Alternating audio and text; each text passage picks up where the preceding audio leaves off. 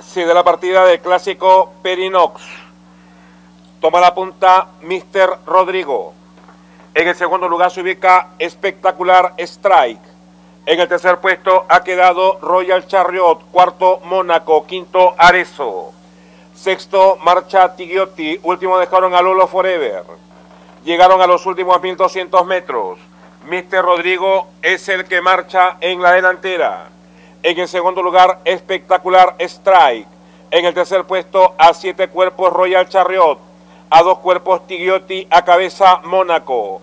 A cuerpo y medio Arezo y a cuerpo y medio Lolo Forever. Han ingresado a los últimos 800. Mr. Rodrigo es el que marcha en la delantera. En el segundo lugar, espectacular Strike. En el tercer puesto, Royal Chariot. En el cuarto lugar, Tigiotti. En el quinto puesto, Mónaco están ingresando a la última curva.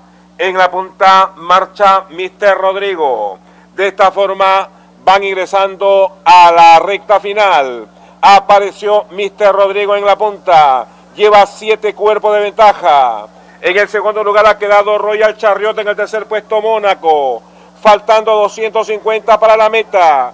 En la punta marcha Mr. Rodrigo. Mr. Rodrigo llevando seis cuerpos de ventaja. De atrás avanza eso para pasar al segundo lugar. Último 150, Mr. Rodrigo en la punta, Arezo pasó al segundo y se acerca. Faltan 50, Mr. Rodrigo por el medio, Arezo por fin por dentro de Forever, llega a la meta.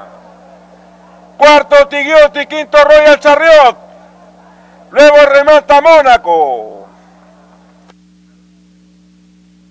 Llegada de fotografía en la octava carrera del programa. Entre los números, 1 Arezo, 3 Mr. Rodrigo con Rito Almanza y el 3A Lolo Forever.